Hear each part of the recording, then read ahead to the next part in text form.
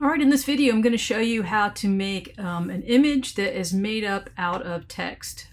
So let's get started. What you need to do is find a picture of someone's face or maybe just a subject. You could probably try a car or something like that, but don't try to do scenery where it's like, you know, a forest or something like that. It won't work. So I'm going to use this picture of Shrek. It works quite well.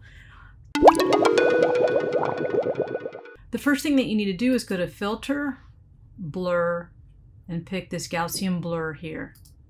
And just set it to 15 and say OK. Then you need to save as, and just call this displace and save it as a PSD. This is very important. Make sure you save it as a Photoshop file, not a JPEG. Save it as a Photoshop file, a .psd, and say save.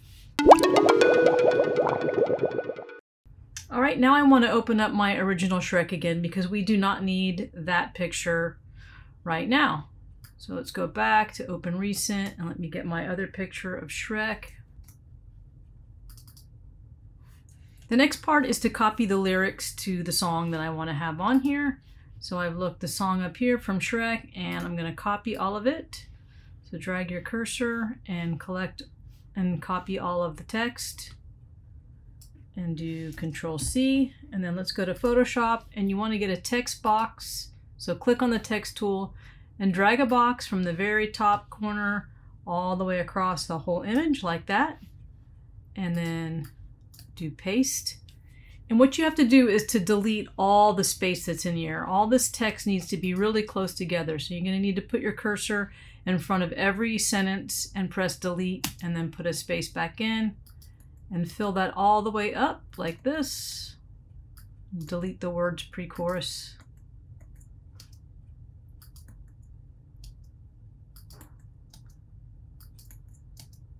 So you can see as I'm doing this that there's still some space here. We don't want any space or this doesn't work. So if you see a line that still has some space, go back to the line below it, put your cursor there and press delete.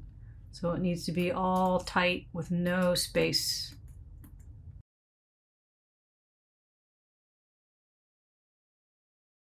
So notice how there's still some space here. Keep checking that, that the, all the space is fixed. You don't want to have any, any space left. Alright, so for the purpose of this video, I'm going to delete the end of my song just so I can move along faster. So I have all my text here. And what you need to do is go to Window and open up Character. Click Window, Character. And that opens this panel here. So character just means text. You should set your font on. It can be any font you want, but I think Arial Bold looks pretty good. So I'm going to choose Arial, and it definitely needs to be a bold font to really do this properly. And then as far as the size goes, I'm going to go ahead and select all that. As far as the size goes, this is really flexible. It doesn't matter how, how big you make your text or how small. And what's really important is to change this right here. This is called the tracking. So notice how I hold my cursor over that, it says tracking. It has a V and an A and a white box. This is something that's on the test and I really wanted to make sure that you know how to set tracking. So if I hold my cursor over this V and A, notice how if I pull it to the right, it spaces the text out.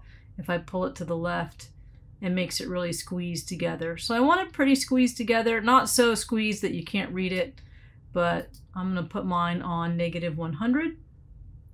And then the next thing you need to know is the one above that with the A over an A. This is called, it's either leading or letting. I always say it wrong and someone tells me on YouTube, so whatever. This one right here is the space between the lines of text. So notice how when I put my cursor there, the space gets really big.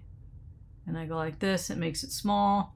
So tighten up your letting or your leading. I think it's letting like this so that it's really close together but still readable. I think that looks pretty good. All right, now it doesn't matter what color the text is or anything, just make everything really tight so there's no space. And I'm going to copy this now. So I have that selected, Control C, and then I'm going to do Control V over and over again until the whole space has the text in it. All right, so the next step after you have all your text like that is to make a new layer. So layer, new layer. This is just going to be a blank layer. And you're going to hold your shift key so that you have the text layer and this new blank layer selected. Right click and say merge layers, which is control E. Now you see I have all that text as an image now instead of as editable text. Now we need to put a filter on it. So go to filter, distort, displace. And then you're going to say 10, 10, stretch to fit, repeat edge pixels.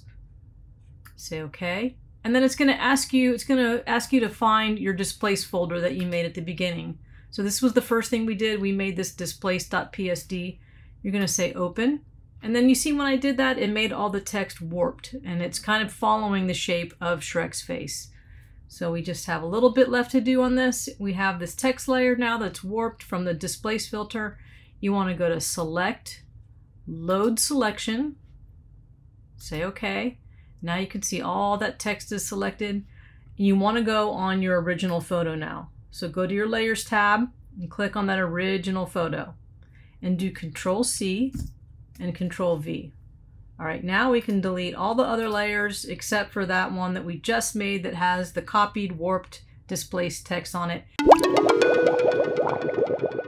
And now we just need a background. Go up here to layer and you can say a new fill layer and choose solid color and say okay. And you can change that to any color you want. I think that this is gonna look better being a dark color. And then I want to drag that below the Shrek. All right, so then you can see I have my text wrapping around Shrek's and it looks like, especially if you zoom out, you know, you can really see see how it works. If you want to change this color, you just double click on that and you can change it to a different color. And then one other thing I want to show you, if you don't want just a solid color, you could also just go to layer, new fill layer and choose gradient.